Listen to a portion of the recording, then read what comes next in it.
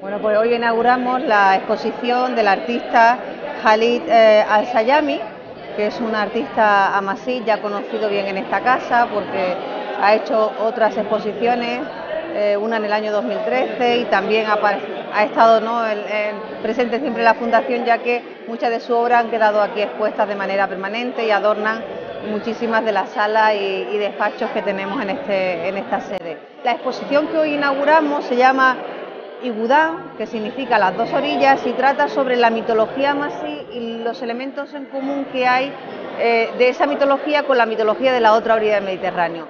Y bueno, yo creo que, en este caso el artista, teniendo en cuenta que conocemos su trayectoria, que es una trayectoria, aún siendo un artista muy joven, muy exitosa, ha expuesto en muchísimos países europeos, especialmente en Francia, en España, en Italia y también en Marruecos, ha sido galardonado con distintos premios y, y yo creo que, que, que el éxito en esta está más que garantizado.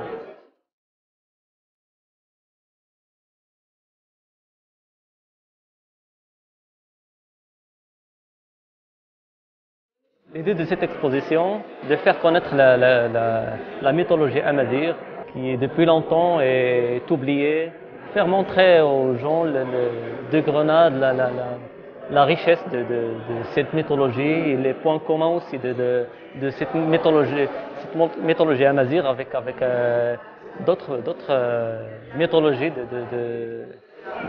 d'autres civilisations de, Méditerranée. Dans mes œuvres, je travaille euh, sur trois matériaux. Je travaille sur, le, bois, je travaille sur le fer, je travaille sur la terre. Ces trois euh, matériaux sont, pour moi, sont des matériaux spirituels et vivants. Euh, je travaille des techniques mixtes. Euh, je travaille avec, avec des pigments naturels.